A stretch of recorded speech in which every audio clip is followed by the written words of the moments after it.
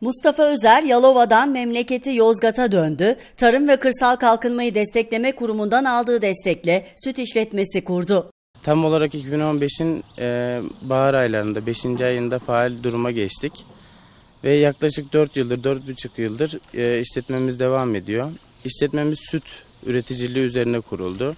Kapasitesi de 120 sağmal süt hayvancılığı vardır. Hayvancılıkta daha öncesinde her- herhangi bir eğitim almadım. Sadece e, takip ediyorum, araştırıyorum açıkçası. E, bu işe girdikten sonra gerek ilimizde, gerek il müdürlüğümüzde, gerek ilçe müdürlüğümüzde e, yapılan çalışmalara devamlı katılmaya çalışıyorum. Gerekirse de il dışına vaktim olursa çıkıp öğrenmeye çalışıyorum ama herhangi bir eğitim veya okuluna gitmedim. Özer ailesiyle birlikte çalıştığı şirkette anıza ekim yaparak yem maliyetlerini de düşürdü. İl müdürlüğümüz ve ilçe müdürlüğümüzde demonstrasyon çalışmaları yapıyoruz. Daha katkılı üretime veya yeni bir çeşit elde etmeye çalışıyoruz.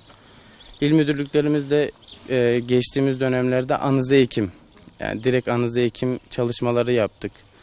E, diğer firmalarla anaç tohumlar getirip yeni üretimler yapmaya çalıştık.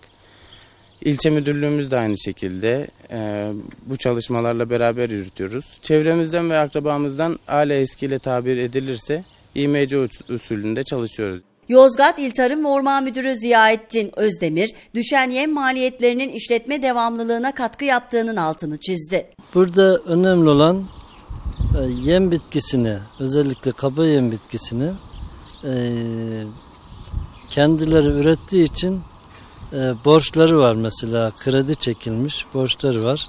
Bunları da kapatabiliyorlar.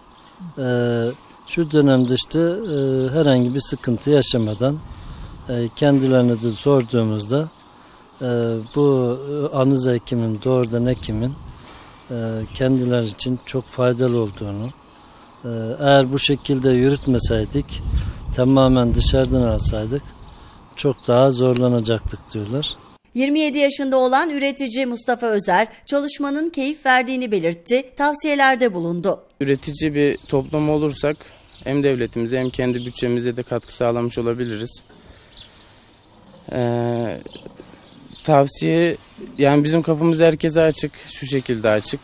Ya bu işten daha çok tereddütle giriyorlar. Biz o tereddütü kırmaya hazırız. Hani biz nasıl yaptık veya çok genç yaşta da bu işe girdik. 22 yaşındaydım ben bu işe başladığımda ve şükürler olsun başardık.